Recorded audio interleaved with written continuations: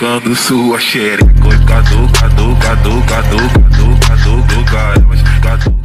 Hi everyone. Welcome back to another video.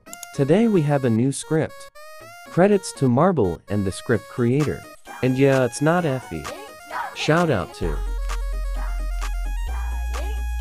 Let's start the video. This is the script.